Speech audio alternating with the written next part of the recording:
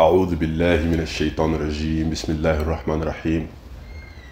والصلاة والسلام على سيدنا محمد أشرف المرسلين وعلى صحبه أجمعين.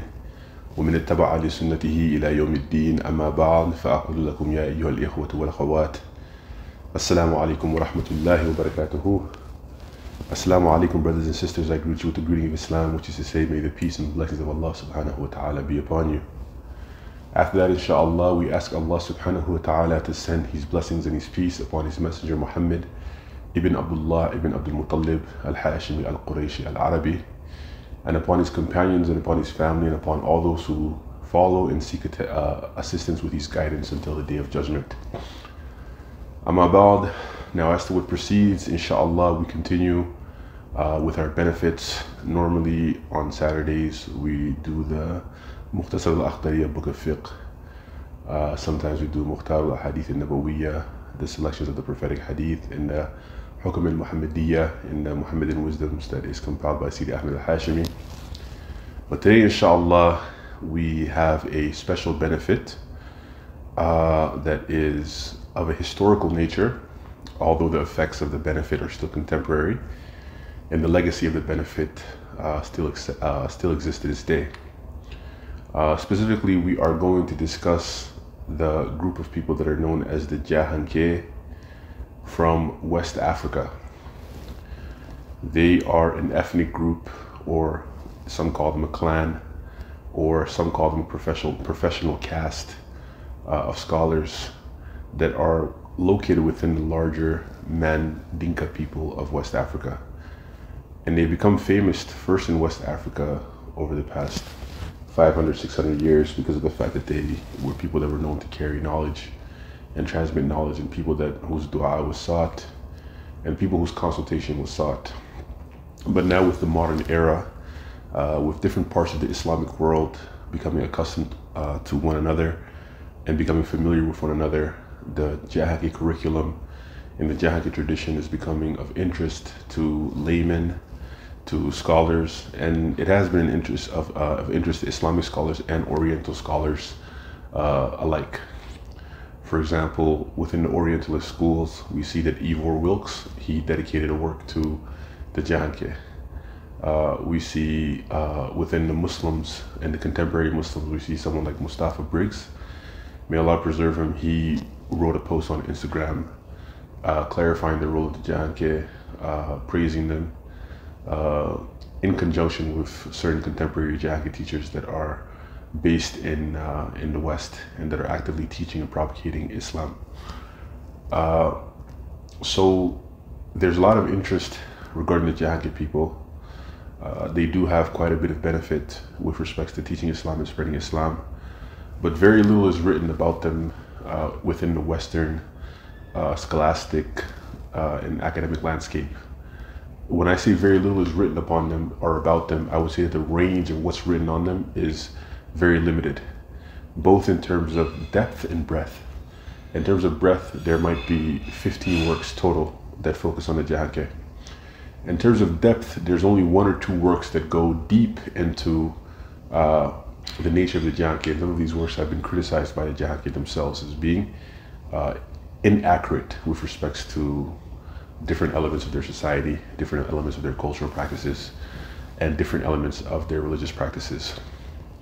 Uh, if we're speaking from an academic perspective, it's often beneficial to state your position reflexively uh, and your positionality because of the fact that it allows the reader or the listener to gauge where is it that you are coming from and what is it about what you are saying that makes uh, it of value first and foremost and that could contain possible biases. Uh, the first thing to note is that I myself am a Jahake from both sides, mother and father, but that also I studied with Jahake scholars. And I didn't study for the purpose of necessarily obtaining a degree, but studying within the classical Islamic curricula, which is for the purpose of obtaining the benefit of knowledge that's going to be uh, spiritual salvation for you and a material salvation for you to benefit you in this life and to benefit you in the next life. So that is something that people should know, and therefore it allows them to gauge the information that I'm saying, both in terms of credibility and authenticity, and to take what they can take and to benefit with what they can benefit from.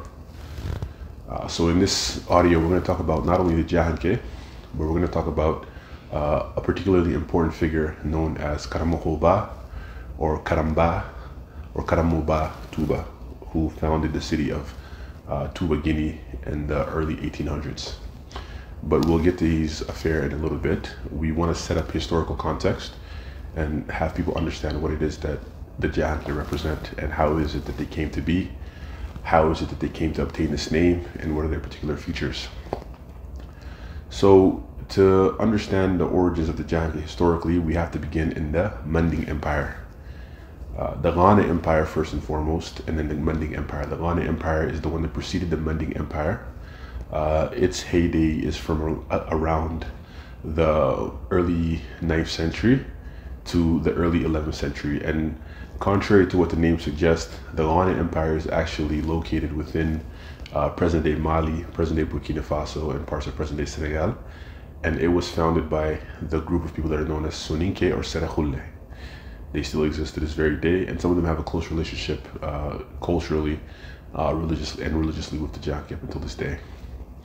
Uh, within the Ghana Empire, the rulers used to be known as Sise, as Sise, and this is going to be an important fact when we realize the founder, of one of the, the founder of the Jahanke, as they are known today, he had uh, that name originally. So after the Ghana Empire uh, collapsed, it was the Manding Empire under the leadership of the Sundia, of the legendary emperor known as Sundiata Keita. Sundiata Keita, the name Keita coming from Sundiata Mansa Keita. It's as though he inherited the, the his children inherited the the the the, the rulership, the word Keita meaning to inherit something, Keita, to inherit something. So they call him Keita Mansaring. But it was under Sun, Sundiata Keita that the, the Mali Empire began to form uh, from city to city uh, from across Mali, Burkina Faso, Senegal, Gambia, and into parts of Guinea. It was an extremely large empire. It was an empire that benefited from the fact that it was strategically situated. Uh, for one, even though it's in the Sahara, it has large, or it's near the Sahara, and large swaths of it are in the Sahara. It has large deposits of gold, uh, large deposits of salt, uh, and it had a thriving cloth, cloth empire. So this made it some a place that was that was uh, that was extremely beneficial for the Muslim traders that were coming in, uh, for European traders that were interacting with those Muslim traders, uh, and for the wider world at large. Uh, we see, for example, the author of Maqamat al-Hariri, Imam uh, uh, Abu Qasim, he al-Basri, he writes that he writes in one of his maqama that takes place in Ghana, the furthest reaches of the Islamic empire. So the Ghana Mali was something that was known to the wider Muslim world. Uh, and the way things operated for the most part was that, you know, cities were largely independent, but they would still pay uh, tribute and vassalage to a larger uh, imperial figure who was known as the Mansa, as the king or the ruler. Uh, and one of these cities we find is a city in the Masina region, uh, which was known as Jah. The city was called Jah. Uh, and within the city, uh, like all Mandinka cities at the time, when you hear the word Manding, there are some that are stipulated from the oral traditionalists that it comes from the word, um, it comes from the word, uh, it comes from the word uh, bading or family, that we're all bading. Bading kol, Manding kol family people, fam families were all related. You understand? Uh, but within that larger empire, that larger culture, you had a city that was known as Jah. This city is located near the Masina River on the Masina banks. And for whatever reason, or for whatever reason or, or means, that city became known for Islamic scholarship. The people that were residing there they had a lot of scholars. Uh, they had people that were particularly oriented towards Islam because Islam was nothing new to northern Africa since the time of Uqbatu ibn Nafiya. Uh, so within the city of Jah, uh, some say some place the founding of it at around uh, 1000, some say 1050. But by 1050, 1100, it was already a, a thriving city. It was already a present city. Uh, within that city, there was born a man named uh, Al Haji Salim Sware. Uh, Al Haji Salim Sware, he died in the year 1250. he died in the year 1250 and he was born around 1080. He wasn't born uh, with the last name Suare. He was actually born as Al-Haji Salim Sise. And as we said, the, the, the, the during the Ghana Empire and uh, the early Mali Empire, Sise was just a titular uh, term that was attached to kings. So people could have the name Sise and not be related to one another whatsoever. And this was the case with Al-Hajj Salim Sise, Al-Hajj Salim Sise, uh, because the Sises were the, the Qadis of the city of Jah, meaning that they were the caretakers of the city of Jah. Uh, so they had a, a kingly role at that time. They were, they were Mandinke. They didn't have this terminology. They were Jahanke at that time. They were just a group of Mandinke people that were living in the city of Jah. Al Haji Salim Swari was someone that was particularly particularly blessed. At the time he was still Al Haji Salim Sise, uh, he eventually would go on Hajj more than seven times, and uh, he would have a teacher that was uh, some say that his teacher was Syrian, that he was Suhiyun, and he took the last name of his teacher or the nisba of his teacher, and that's how the name Suwari came to be. That he was known as Al Haji Sise Suwari. Others, they say that the suare is uh, a terminology that refers to his horse. That in the Mandinka language, uh, if you say su ware it means a horse that has uh, different types of colors. That its color is is different. Yes, I mean that it has uh, its its cloth that's on it is blue and red. It's a colorful looking horse, either in its skin or the color that, that of the decor that is attached to the horse in terms of his bridle uh, in the saddle and things of that nature. But in any case, he came to take on the, the moniker of Suwari. And Al Hajj Salim Suwari, within his uh, various Hajj, uh, he was someone that accumulated a lot of Islamic knowledge. Uh, he was someone that founded nearly seven mosques uh, across West Africa, the furthest of which was in Gambia. So he was someone that was traveling a lot. And the political landscape at that time allowed for travel because for the most part, the Manding Empire was secure. The Manding Empire was a secure place. Uh, you could travel from Gambia all the way to Jenne, uh, all the way to Timbuktu, and nothing would happen to you so long as you were under the protector of the empire. If someone were to do something to you, then they would necessarily have to face consequences, although it would be more difficult to rein in people back then than it is today, right? Because the technology for population control and those things didn't exist. But Haji Salim Suware, he was someone that came uh, to Africa and he was traveling different places for the purpose of garnering barakah and the purposes of building an Islamic legacy and spreading Islam amongst what we call, uh, ironically, Soninke. Soninke meaning the people that do not accept, the people that do not uh, accept the, the, the, belief of Islam, which is why uh, the term Soninke from a Western application is kind of problematic because they call themselves Serahule. They don't necessarily call themselves Soninke. Ala kulli hal, Al Haji Salim Swari, when he settled in Africa, he came to the city of Jah. He had a mission that I'm someone that wants to uh, live an Islamic lifestyle. I want to find, I want to um, have a pristine society uh, of people that uh, that live cleanly, that follow the Quran, that follow the Sunnah, uh, that you know are you know living an Islamic lifestyle. Because the context back then was these are people that uh, are surrounded by pagans you know, you're surrounded by people that still worship idols, people that sacrifice their children, people that engage in various forms of very dark magic. Uh, and their way of life is unclean compared to the Muslims. And the Muslims that would convert, especially the rulers at that time, they would convert when they found being Muslim politically advantageous. And oftentimes their Islam would be a bit syncretic. Uh, you would see, for example, in the Epic of Sundiata Keita, even though it said that Sundiata was a Muslim, uh, uh, many of the themes that are found there are, are of a pagan nature most of the themes that are found there are, of a pagan nature. So Al Hajj Salim he and his uh, and his students and his followers, they not only left the city of Jah, although they kept contact with it, they moved to the region of Bambuhu, and they founded another city that was known as Bambuhu Jah. Bambuhu Jah in the Bambuhu region, which is a bit closer to uh, Senegal, but it's just another region of, of Mali. Uh, it's really Bambu and Jah. But two things occurred, and this was what led to the moniker of Jahanke being formed.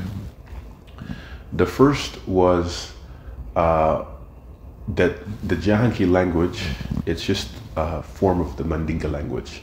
The Mandinka language has different dialects. You have Bambaran, you have Suso, you have Maninka, you have Kasonkan, uh, you have Koniakan, you have all these different types of Mandinka languages. It's like today, if we look at the Latin language, the Latin language was one language, but by the time it spread to the Portuguese, to the Spanish, to the French, to the Rom- uh, Romanians, to the Italians, uh, it took a different character.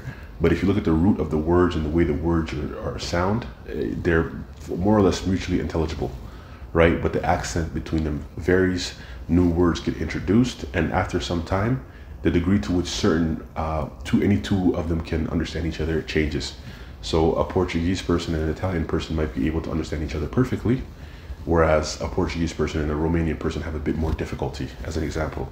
So within the Mandinka languages too, this is the case. Uh, the Jahangikan, the Jahangi language had a particular feature that they like to pronounce the word kha a lot. They like to produce, they like, to pronounce the word kha. So whenever they would go places, people would tell them, would say to them, the men from Ja have come, or the people from Ja have come. So they would say the Jaanko, meaning the people from Ja. Jaanko, the people from Ja. Right? And so they would call them uh, the, the Jahanke. So those are the two features. The Kha that is natural in the accent of the Jahanke, and then the fact that they traveled so much that and people recognize them for their Islamic uh, religiosity uh, is what made it so that they became known as the Jahanke. You understand? They became known as the Jahanke. So wherever they would go, people would allow them to come into the city uh, to conduct tafsir of the Quran, to give durus, lessons, you know, because they saw the benefit of Islam. Even if they were uh, newly Muslim, they saw the benefit of learning about Islam. And if they were non-Muslims, the Jahanke had such aridity uh, in their affair that the pagans would generally allow them to settle on the outskirts of their of their regions, uh, and they would consult them uh, in legal matters, in spiritual matters.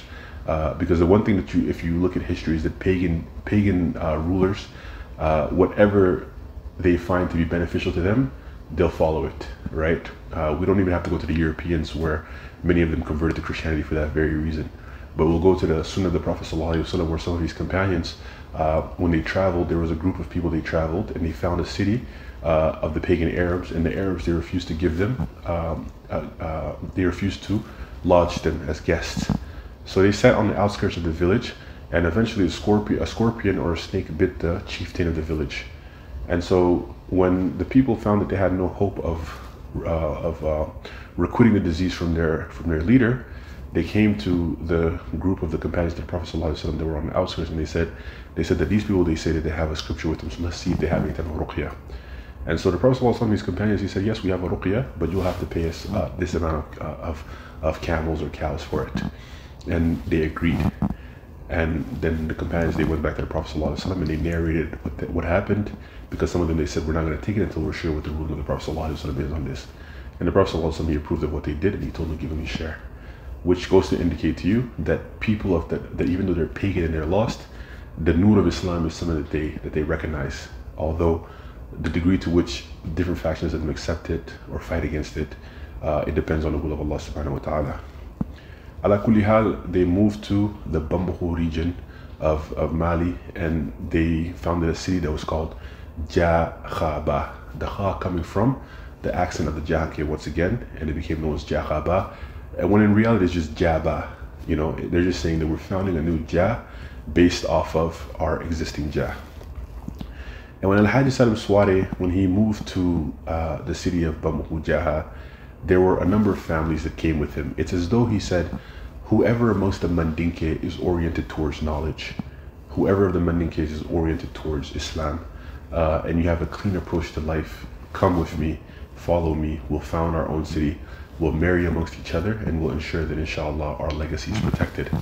And this is why the Jihad tend to be very endogamatic up until this very day. They marry amongst each other. You understand? And there were several families that were with him that formed the core of the of the of the movement. Uh, when they went, he had three cousins who all were coming from the same mother. Uh, one known as Fadiga, one known as uh, as uh, one known as Fofana, uh, and one known as uh, what's the third one? Excuse me, and one known as Drame. And so these four cousins, the fourth being Al Haji Salim Sware, they formed the core of the Jahanke, along with the Jabi, the Kaba, the Jakhite Kaba, and the Silla, the Silla Faba Khaira and the Silla Jabi, different Sillas. And they came to Jah along with multiple other tribes, and, uh, and they came to Bambahu along with multiple other tribes. They found people like the Dabo, they found the Sissoko, uh, uh, the, the, Jikine were there. Uh, various groups of people came. It wasn't about the last name at that time. This was still when we were in the Proto Jahanke era. You understand? And they came to Bambahu Jaha and they settled there. Al-Haji Salim Sware would die uh, by the year 1253. Uh, excuse me, by the year 1278, I should say. He died in 653 Hijrah. So that should be around um, 12, uh, 1278 Hijrah. And in the city of Bambahu, they had a very segmented way of doing things. Particular families were, were, were uh, responsible for the imamate. The Sillas were responsible for maintaining the imamate. Uh, the Kabas were responsible for maintain, maintaining du'as and things that were done communally. The Jabis were uh, were likewise in a similar position. They were the what are known as the Kawandila, meaning the preachers, the people that would give speeches and bayans and khutbas uh, outside of obviously the Salatul Jum'ah.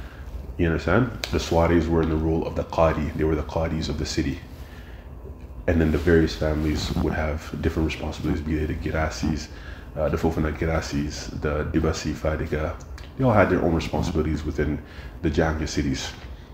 And what would happen is whenever they became too big, someone would leave that city and then he would go and found another city. Uh, and this occurred from the 12, the late 1270s to the early 1500s. Uh, in the early 1500s, late 1400s, what occurred was that you know there was a bit of instability towards the transition uh, from the late period of the Mandinka Empire to the Songhai Empire. Uh, and when the Songhai Empire came about, mm, it, it caused a lot, a lot of breakdown, a lot of breakdown. Uh, uh, from the time of Askia, Muhammad and Askia Musa and the likes of them. And so what occurred is that Jahanke, they en masse, uh, in large groups, they left the Bambahu area. Uh, they're still there to this day. Bambahu Jaha is still there. Masina Jaha is still there. Uh, the Swari are still in Jaha. The Sise are still the the the, the the Qudat of, uh, of the city of Jah in Masina. But for the most part, they came to the Senegal Oriental region, the Oriental region of Senegal, the eastern region of Senegal, that was known as Bundu. Uh, and it was in Bundu that you really see an explosion of, of, of what we call Jahankeya, the way of the Jahanke. Because Bundu was so spacious that they didn't have to live on top of one another. Each particular uh, last name uh, could build its own cities and they would still be close to each other. They would still marry amongst each other. Uh, and they would still have that same system that we're, we're the people from, from Jeha. So when they get to Bundu, uh, the Jabis, they found a city called Dide. Uh, the Sillas, they founded two cities called Misra and Bani Israel. Some say 800 years ago, but the more accurate figure is around 500 to 600 years ago. The Jerite, they found a city called Gunjur, and they found a city called Jilani. Uh, the Drame founded Gunjur, excuse me. Uh, the Jerite founded the Jilani. Uh, the the the Jassis, they founded a city called Stuta and amongst other cities, there was a, a lot of different cities that the Jagi they founded in Bundu. And within Bundu, they were at the behest of the Fulani for the most part. So the Fulani, uh, particularly under the sea, uh, they tended to be people that combined not only knowledge, but they combined also military prowess. The Serahule, or what was called the Soninke as well, tended to combine military prowess and knowledge and wealth. Um, and this was something that allowed them to have somewhat of an advantage over the Jahanke, whereas the Jahanke were, were, were simply focused on one thing, which is the acquisition of knowledge. And from that acquisition of knowledge that, uh, the, and the proliferation of, of, uh, of Islam that would flow from it, which is one, and then also the necessity uh, of having peaceful conditions and being able to farm and having autonomy that were the conditions of being able to acquire that knowledge. And so the Janke were in this mode from the time of the 1300s uh, through the 1400s in Bambahu. and the 1500s in Bundu, they were upon the same thing. And in the 1600s, the same thing, uh, with The 1600s, they had a bit more interaction with the, the society, with the Fulanis. Some Jahanke figures, such as Ture Fode, uh, they had alliances with uh, Al Haji Malik Modosi, uh, whereas they helped them fight jihads, they helped them spread Islam. Uh, and so had, there was a close interaction. There was a great bit of respect between them. And there was a respect towards the Jahanke because they did not bother people. You understand? It's not that they denied the legitimacy of fighting in the cause of Allah subhanahu wa ta'ala. No, rather they understood that uh, much of what was declared to be fighting in the cause of Allah subhanahu wa ta'ala, be it in the Arab world or in the African world, was actually just worldly, uh, worldly desires and misguided, misguided, um, misguided aims. It would be like someone today saying, "Why don't you go support ISIS?" Well, why would I support a group of people that are killing people for no reason, mm-hmm. right? Or why don't you go support uh, Abdel Fattah Sisi as an example? Why would I support someone that doesn't believe in Islam? you know, just for the purpose of saying that, oh, he's a Muslim leader. No. So the Jahanke had that insight of understanding that there are certain conflicts that are foolish, and we're not going to involve ourselves. And he had the insight to also know from the Sunnah of the Prophet ﷺ is that you attract more flies with honey than with feces. So what they would do is they would beautify their behavior. Uh, they had an aura of uh, of being aloof.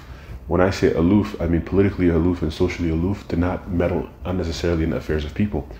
Uh, and people will give you that respect so long as you don't meddle in their affairs because they'll understand that what you have is, is, is enough for you. And that they would behave in a very generous way with people. One of the prime traits of the Jahanke, uh, especially those from the Jabi Gassama clan, is that they're known for, for extreme generosity they'll give almost anything that they have, and it's very difficult for them to, to say no when they're asked about something because that's the sunnah of the Prophet sallallahu. The Prophet sallallahu he would never leave, he would never sleep even if there was a single dinar of gold inside of his house. He would find someone to give it away to. Even if it's a mountain full of camels, as we see in the hadith of the Bedouin, the Prophet sallallahu would give it away. So the Jahanki were people that, in its essence, in such a distance away from the center of Islam, both in Africa and in uh, and in uh, in the wider Muslim world from the Arabian Peninsula, they inoculated prophetic traits. They saw the they saw Islam and they said uh, and they said Sami'na wa ata'ana. And then Allah subhanahu wa ta'ala put barakah in their affair. One of the later sheikhs of the of the Mauritanian Sheikh Sidi Kabir, he said, إذا إذا جعل الله بركة في شيء قليل كثره وإذا نزع الله بركة من شيء كبير uh, uh, that if Allah subhanahu wa ta'ala puts barakah in something small it increases it. And if he takes away barakah from something large it just renders it as though it's nothing. And the Jahanke were people that Allah subhanahu wa ta'ala ja'ala fi amrihim barakatan kathiran. That Allah subhanahu wa ta'ala put a tremendous amount of barakah in their affair. And so despite being far and despite having a very I wouldn't say a limited range but a very particular range of education uh, at that time you know, there was a focus on Quran and there was a focus on tafsir, uh, but there wasn't and a focus on basic hadith, but there was an extreme focus uh, in bundu on different types of knowledge. You know, uh, it wasn't as as as um, as wide of a breadth as it is today, and as it would be later in Jahanki history. But despite that, the what they knew within the religion of Islam, they practiced it uh, as best as they could. They practiced it as sincerely as they could, and Allah subhanahu wa ta'ala put barakah in their affairs. There would be people whose dua would be uh, would be answered. Allah subhanahu wa ta'ala would, would save them from the basic fit, the, the many fitan that would occur in the region. And Allah subhanahu wa ta'ala increased them. As it comes down in Surah Ibrahim, that Allah subhanahu wa ta'ala says that when Musa said to him, said to his people that Allah says that if you're grateful, I'll increase you. And if you're and if you're ungrateful, then my punishment is is, is severe and painful. There are people that were grateful and Allah subhanahu wa ta'ala increased them. But in increase, whenever increase occurs uh, and whenever change has to occur and, and, and expansion has to occur, oftentimes it comes after a period of turmoil. And this is what effectively occurred with the Jahanke uh, in, in two stages. The first is the move from Bambahu Jaha was somewhat traumatic, but they recovered. The second is that the breakdown of the Mandinka Empire and the instability of the Songhai Empire in its later years and the full Fulani wars that would occur in the 17th century, it made it so that it would be very difficult for a person to, to just get up and, and go to Jenne or go to Timbuktu or go to these places to seek knowledge in droves. people would go one, one, one, one, one. There was still exchange, but it wasn't as fluid uh, or as frequent as it was in the earlier in the earlier years of the of the Jahangi history. So by the early 1600s, what you would see is that they would be concentrated in their cities. They would travel around Bundu, getting knowledge from one another, uh, holding Quran tafsir from one another, uh, and just benefiting in that way. But they would not expand much outside to gain the various Islamic sciences. Their wilaya was still there. They still had barakah. Uh, they were still people that were known for uh, that were as ubad, people that worship Allah subhanahu wa ta'ala fervently. The people that, you know, um, if someone that their their elders hardly sleep out of simply worshiping Allah subhanahu wa ta'ala during the nighttime. But the expansion of the knowledge was not as wide. Uh, so because of the, the fact that travel was was fairly limited. Uh, and also the fitna of the wars that were occurring between various Fulani groups and various groups of the Sirahule made it untenable to go back and forth to different places because you could be captured, you could be sold as a slave, and you just lose your life for no reason. And this happened to many people. Uh, and it was in this context that we see uh, a very important figure uh, that we come to know now as Karamokhoba or Karamba Touba, meaning the great teacher of Touba. The Prophet ﷺ in his hadith, he said at the head of every century, there's a mujaddid in my ummah, there's a renewer in my ummah. And what we see is the realities that occur uh, at a ummatic level. At the level of the ummah, they always have microcosmic versions. They have smaller versions of those things that, that occur, right? For example, the Prophet ﷺ is the prophet of the entire, of the, of the, of the, of the alameen, you understand, of all of mankind. But before him, there was different prophets that would come there were different prophets that would come to different people, right? We see La'anatullahi alayhi, the Masih al-Dajjal, uh, he's going to come at the end of times. Before the Masih al-Dajjal, there's going to be 30, uh, 30 Dajjalin. You understand? There's going to be 30 Dajjal. There's going to be 30 Dajjals that come before the end of time. So there's going to be different test runs and different microscopic and microscopic elements that lead to the larger thing. And Karamba represents one of those uh, regional mujaddideen one of those regional renewers. You understand? Meaning that the people in Pakistan had their renewers, the people uh, in Saudi Arabia had their renewers, the people in Somalia had their renewers, and the people in West Africa had their renewers. And he would be known as Mudi'ul Gharb, the illuminator of the West, meaning he's the person that illuminated the West in terms of knowledge, uh, the extreme west of, of, of Africa by having so many lab, by reinvigorating, uh, reinvigorating the region with knowledge and um, and effectively expanding the scope of knowledge beyond what it had been. So Karamba was someone that was born in the city of Dide in Bundu, the same Bundu in Senegal Oriental that we talked about in the region of um, in the year uh, 1733 in the year 1733. Karamba was born some 500 years after Al-Hajj Salim. Maybe 400, 420 years, 430 years was between them. Uh, but he was named after him by descent. His nisba, his lineage, Karamba, his name originally was not Karamba. He was born as Alaji. Alaji. Alaji uh, Gassama, or Alaji Jabi Gassama. His father's name was Muhammad Fatima. Muhammad Fatima Gassama Jabi. Muhammad Fatima's, the reason why he's called Muhammad Fatima is because Muhammad Fatima's father married the daughter of Al Haji Malik Si Modo, who was the Fulani leader of Bundu at that time. And her, his daughter was named uh, uh, Fatima Si. And Fatima Si gave birth to Muhammad Fatima. Uh, Karamba's father was also, Karamba's mother was also Fatima, but her name was Fatima Jahumba.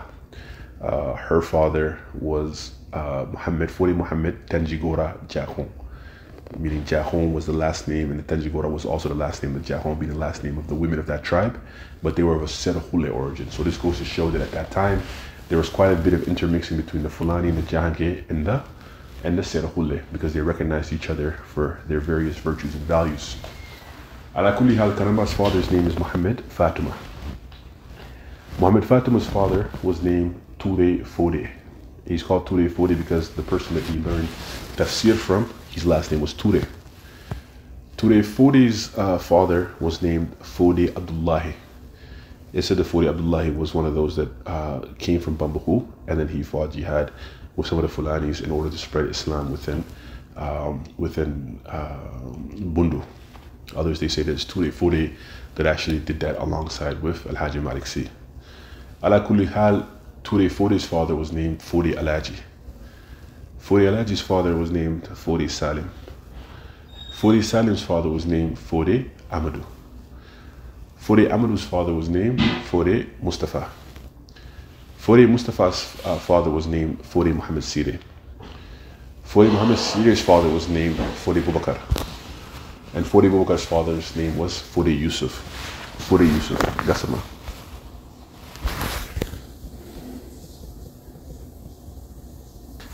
Uh, Fode Bubakar's father was name was Fode Yusuf. And Fodi Yusuf's father was, uh, excuse me, Fodi Yusuf's father was name is Muhammad Lamin. His name is Sambu Gassama. But Fodi Yusuf was one of the students of Al Haji Salim Suware. So it was Karamba's 10th grandfather that was actually uh, in line with Al Haji Salim Suware. Ala kulli hal, uh, Karamba was born as Fode Alaji uh, in the region of Bundu Dide.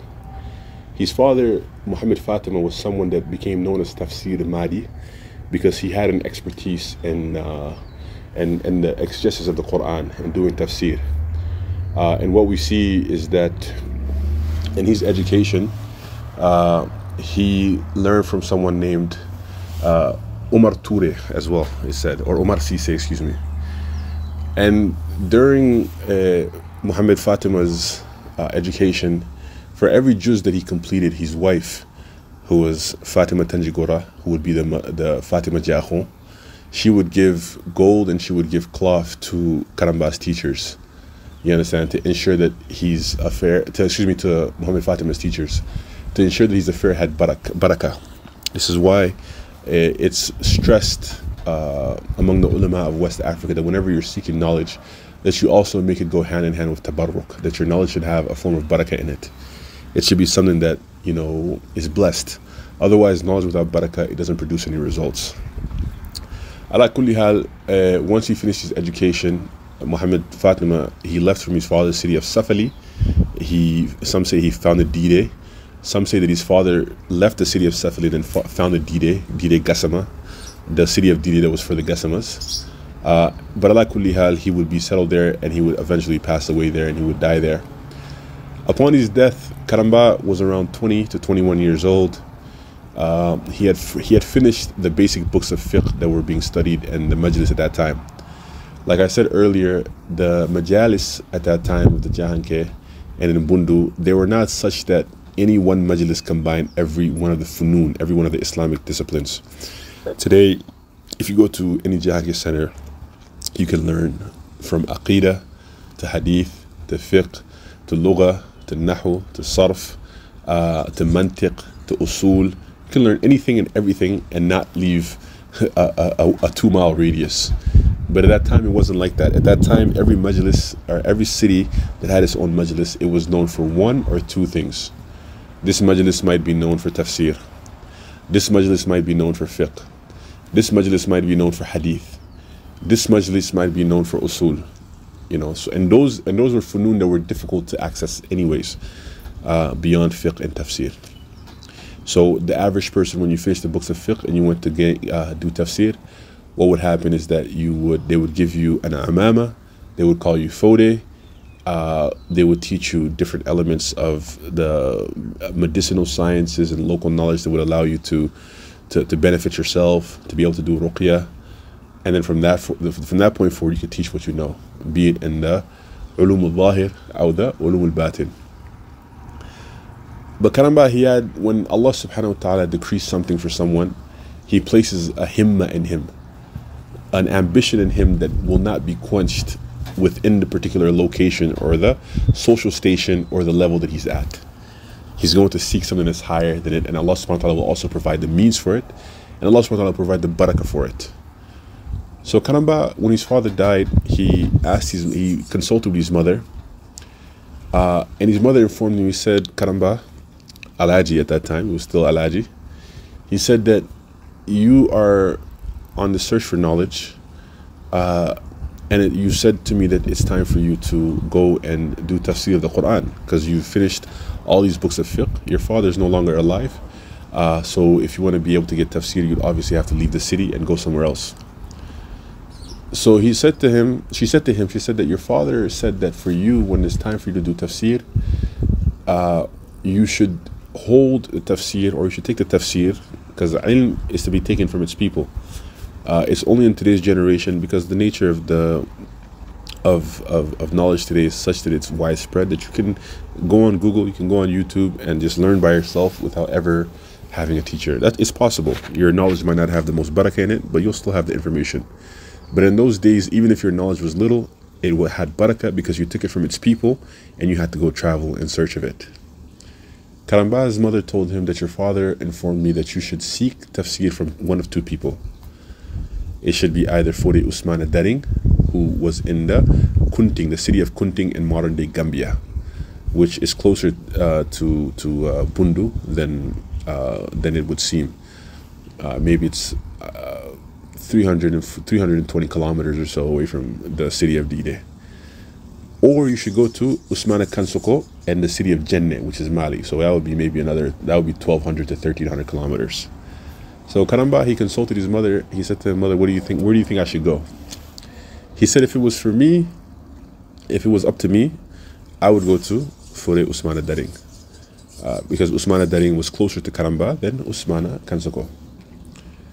And so once that happened, he told, uh, he told, uh, he told Karamba's mother, Karma told his mother, Inshallah, mother, I'm going to work according to what you've instructed me to do. I'm going to work according to what you've instructed me to do, which is that I'm going to uh, attend uh, Kunting and I'm going to go study with Fure Usman Daring. And Fure, Fure Usman Daring, he himself had a, a, tremendous amount of barakah in ilm. Uh, he was someone that when it was time for him to finish his studies, Muhammad Fatima was the was a teacher of uh, Usman Daring. He went all the way to the edge of Bundu Dide with Usman Daring, and it was time to pray Salatul Asr or Salatul Dhuhr. And when it was time to pray, uh, Muhammad Muhammad Fatima told him, he said, Usman, go ahead and, and, and, and lead the prayer. He told him, go ahead and lead the prayer. Uh, and Usman Daring, being humble in front of his teacher, he said, uh, teacher, I've never led you in prayer and I can't do it, right? He said, have I, Muhammad Fatima told him, have I ever asked you to lead the prayer before this? He told him, no, you haven't. So he told him, go ahead and lead the prayer. So Usman Daring led the prayer and uh, he did what's known as intilaq. Intilaq means when your teacher says that you have effectively reached a stage to where you can teach yourself you can go back to where you're from and you can begin to teach and whatever you teach you can say that you learned it from me therefore you have the sanad the chain of transmission so Karamba effectively left Dide to go to Kunting to go and get the baraka of the knowledge that was uh, that was uh, that was contained by his his teacher Usman Daring or to get the knowledge that was really his father's knowledge but to just get the sanad because it was with Usman Daring he went to Kunting.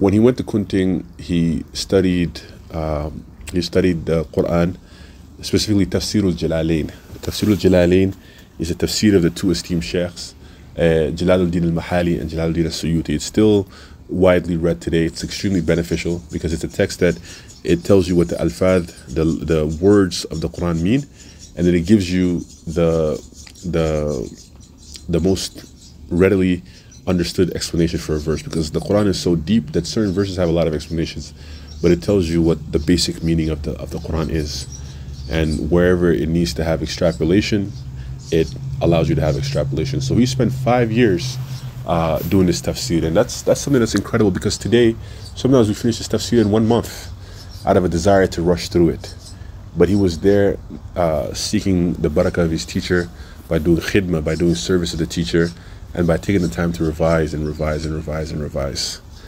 After five years, uh, and it was time for intilaq, for Karamba to leave uh, Usman that's when he gained his first moniker, which was uh, which was Fode Alaji. he became known as Fode Alaji.